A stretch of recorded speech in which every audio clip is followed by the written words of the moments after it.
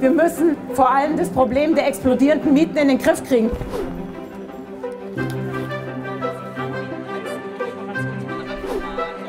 Für eine soziale Politik, für Klimaschutz, die Mobilität für alle zu ermöglichen. Wir sind die, die dafür stehen, die Veränderungen anzupacken. Nehmen Sie noch Brötchen? Gerne.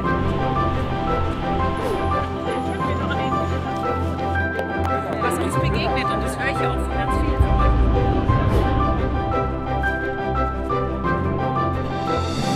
Dankeschön. Aber halt genau auf der Linie. Also immer vor. Genau. Sehr gut.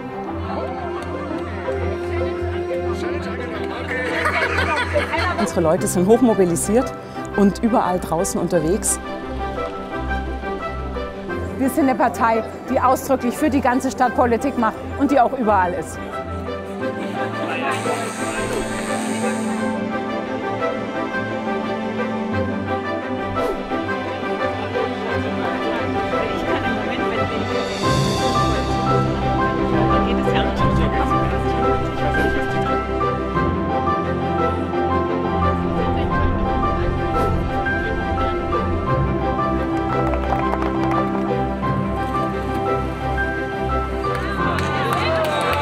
Wir haben angefangen, die Stadt umzubauen. Eine Fortsetzung wird es nur mit starken Grünen geben. Franziska Giffey bereitet die Deutschlandkoalition vor. Und wir sind die, denen es um die Zukunft geht und die die Zukunft gestalten. Ich bin